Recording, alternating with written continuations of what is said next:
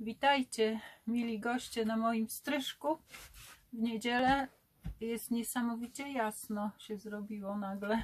Słońce wyszło z chmur i pewnie będę ciemna tutaj, bo moja lampa nie daje rady, jeżeli chodzi o konkurencję ze słońcem. E, Ale mam nadzieję, że jakoś sobie tutaj poradzimy. E, Dzisiaj przychodzę do Was z takim moim komentarzem odnośnie e, dzisiejszego czytania, dzisiejszej Ewangelii. Mm, A jeszcze jestem winna Wam może wytłumaczenie, bo wczoraj urwało mi filmik. Kto obejrzał go do końca, to zauważył. E, A kto nie oglądał całego, to pewnie mu to nie przeszkadza, bo nie dotrwał do końca. E, Chcę się wytłumaczyć, że mm, zabrakło mi pamięci w telefonie, także e, dlatego film został urwany. Znowu zapomniałam wyrzucić e, z kosza moje filmy i dlatego tak, tak to się zadziało, ale właściwie ja już e, zmierzałam do końca i, i chyba chciałam się z wami tylko pożegnać. E, Także już nie nagrywałam po raz drugi, bo nie bardzo miałam czas i, i trudno jest nagrać daną treść po raz drugi, tak żeby była taka e, od serca, tylko żeby nie była taka odtworzona. W każdym razie to już, już była końcówka, także przepraszam za takie niemiłe zakończenie, że się nie pożegnałam. A dzisiaj e, właśnie odnośnie Ewangelii, Ewangelia o synu marnotrawnym. Ja tutaj patrzę na dół, bo e, mam, zrobiłam, właściwie jestem w trakcie e, rysowania ilustracji do, do tego, do tej przypowieści. Tu jest po angielsku, macie lustrzane odbicie. Po angielsku prodigal son, czyli syn marnotrawny i namiary tutaj są i może się przybliżę trochę. O, o. I pokażę Wam, jak ja sobie tą historię tutaj wyobrażam. To jest znowu lustrzane odbicie, także mm, to powinno być zgodnie z czytaniem, tak jak człowiek, jak Europejczyk, czy ludzie zachodu czytają od, od lewej do prawej. No ale wszystko jedno. Tutaj no i ilustracja jest jeszcze niedokończona, więc tylko Wam pokażę taki mój zamysł. Później ona będzie jeszcze prawdopodobnie na komputerze obrabiana z kolorem. Zobaczę, jaki będę miała pomysł. Tutaj przychodzi młodszy syn do ojca, prosi o połowę majątku. Tutaj, a tutaj w tle jest ten drugi syn, jego brat. Tu może go tak dokładnie nie widać, bo ja chciałam wyeksponować y, scenkę z ojcem i tym młodszym synem, a, a starszy syn tutaj z tyłu taki zasmucony, e, zamyślony. Może myśli sobie, że on też by chętnie wziął tą połowę majątku i sobie gdzieś tam poszedł swoją drogą, ale może nie ma odwagi, może, może mm, nie wiem, ma inne pomysły na razie Chcę zobaczyć, jak ten młodszy sobie poradzi z takim przedsięwzięciem. Tutaj narysowałam ojca, który, który płacze, bo, bo jest to przykre. To tak jakby, bo wiadomo, że e, spadek się dostaje po śmierci e, danego rodzica czy kogoś e, z krewnych, a nie w momencie, kiedy ten człowiek żyje, bo to tak jakby mu powiedzieć, chcę, żebyś już umarł proszę mi dać moją część majątku, prawda? E, tutaj narysowałam, jak on już dostał ten majątek. Tutaj. No i z taką radością sobie odjeżdża w siną dal, zadowolony. Napakował swój wóz tymi dobrodziejstwami z, z majątku ojca. Tutaj nawet mu narysowałam, że ma takie jak młoda para, gdy gdy jedzie w podróż poślubną, to ma takie e, śmieszne jakieś tam puszki, dzwonki, żeby dzwoniły, żeby wszyscy widzieli, jak, jaką mają wielką radość z nowej drogi życia, bo to też jest taka jego nowa droga życia. E, tutaj już jest scenka, jak on e, trwoni ten majątek. Tutaj nawet e, no to jest taki hedonizm, konsumpcjonizm, tak sobie to wyobraziłam. Tu nawet jakaś pani siedzi y, na stole, taka. Mm, no, też można powiedzieć do skonsumowania, brzydko i w cudzysłowiu, y, ale jest to też takie wyobrażenie tego starszego brata. Ale już tutaj narysowałam, że on niby, niby jest szczęśliwy, niby tutaj spożywa, ale już ta pani tu mu na głowę wchodzi, prawda? Już się o niego opiera wręcz. Już widać, że ta sytuacja nie jest wcale taka radosna.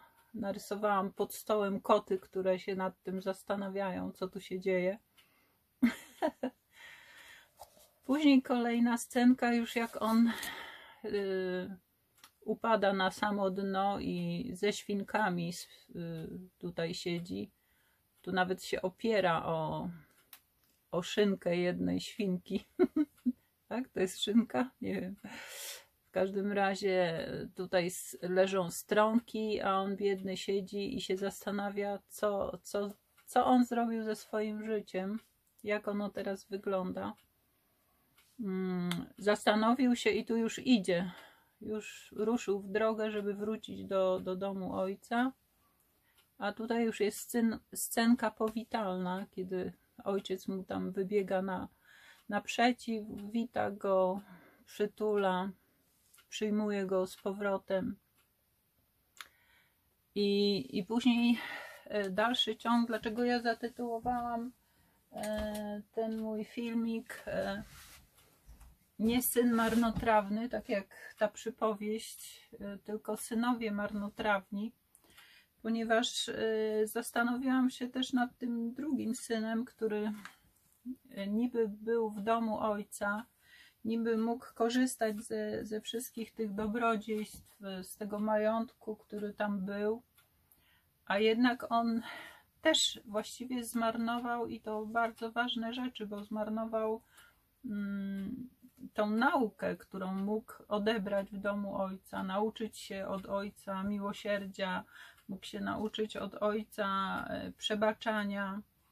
Mm, na pewno widział, jak ten ojciec wyczekuje tego młodszego syna, mimo że on e, tyle bólu mu zadał i, i prawdopodobnie marnuje majątek.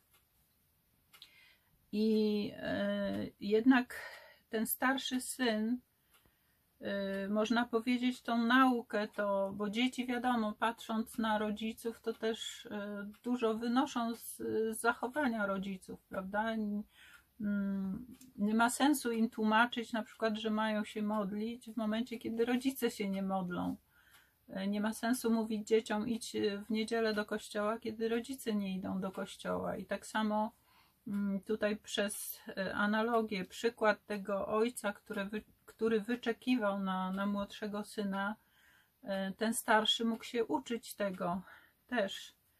E, I tego, że, że ojciec na pewno mu tłumaczył, że, że, ten, że ta powierzchowna radość jakaś, którą miał ten młodszy syn, to ona na pewno powodowała wielki smutek, bo życie takie hedonistyczne nigdy człowieka nie nasyci i, e, i właściwie prowadzi do śmierci. Tak to, tak to nazwał e, ojciec, tłumacząc temu starszemu synowi, że, że twój brat był umarły, prawda, a oto ożył, czyli on ze śmierci przeszedł do życia.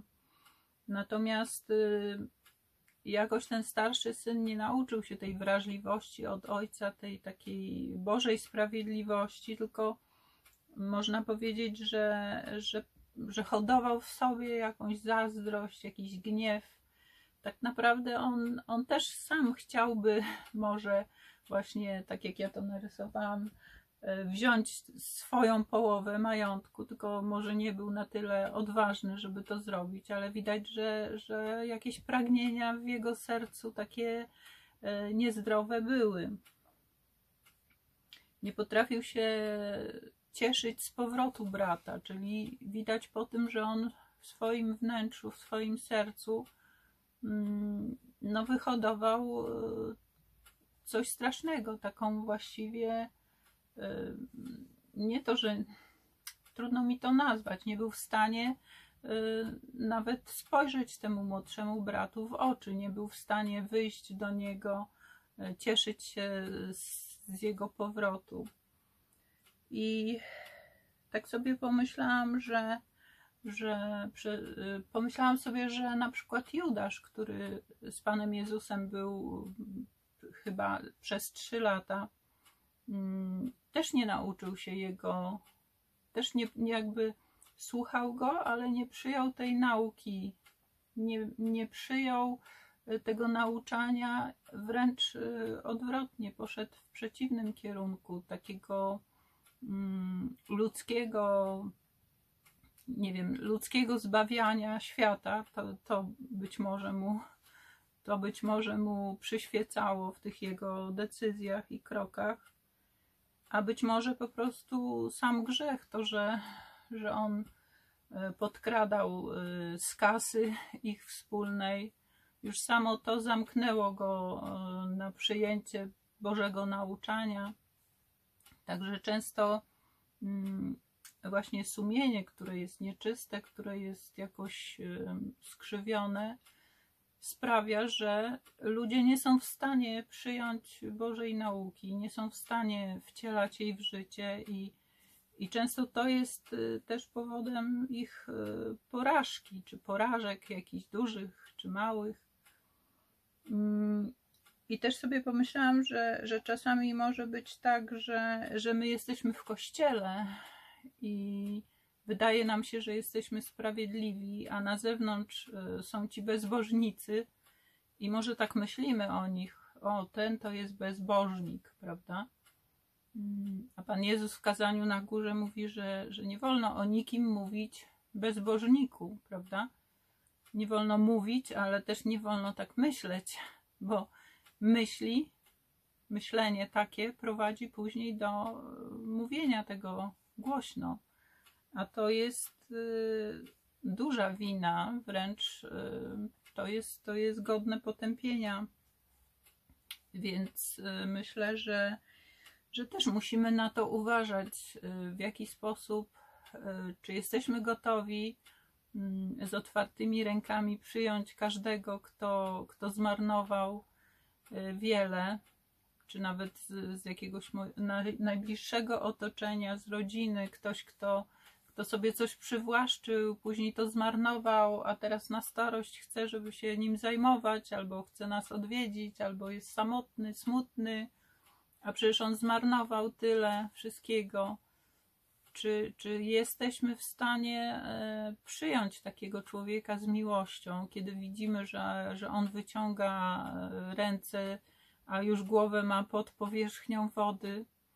Mm, myślę, że to są takie e, ważne pytania, na które e, każdy musi sobie odpowiedzieć i też e, zobaczyć samego siebie odważnie albo po stronie tego młodszego syna, który zmarnował majątek, ale też tego starszego syna, który chociaż był w domu ojca, to tak naprawdę też, też zmarnował ten, ten jakiś duchowy majątek, prawda? To, to, czego mógł się od ojca nauczyć, to on to, on to po prostu też w pewnym sensie zmarnował i dlatego tak sobie pozwoliłam zatytułować ten dzisiejszy filmik e, właśnie e, Synowie Marnotrawni. No, także chyba na dzisiaj tyle. Pozdrawiam Was serdecznie. Już trochę słoneczko znowu się schowało. Coś jeszcze chciałam powiedzieć. Aha, że, że już właściwie widać pierwsze żółte liście na drzewach, także jesień na pewno przyjdzie. I powiem Wam, że tutaj dopiero jak mieszkam na wsi, to mm, mogę obserwować te pory roku tak w pełni, bo w mieście jednak słabo to widać. Znaczy, no, jest tam jakaś plucha, jest, jest czasami śnieg spadnie, przykryje wszystko to, co brzydkie. Mm, potem ten śnieg się robi czarny, bo tam jednak więcej jest tego pyłu, więcej samochodów.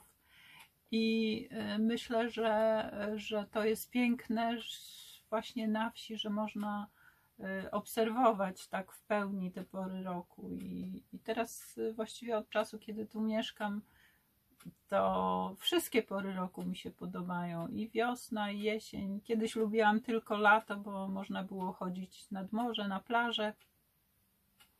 Teraz wszystkie pory roku mi się podobają. Każda ma swój urok, więc ta jesień, która y, wielkimi krokami już tutaj się zbliża do nas, też jest piękna. O, słoneczko wyszło i światło się pojawiło, takie piękne. Wszędzie tutaj się odbija w moim stryżku, bo nawet sobie położyłam białą wykładzinę, żeby to światło się od podłogi też odbijało.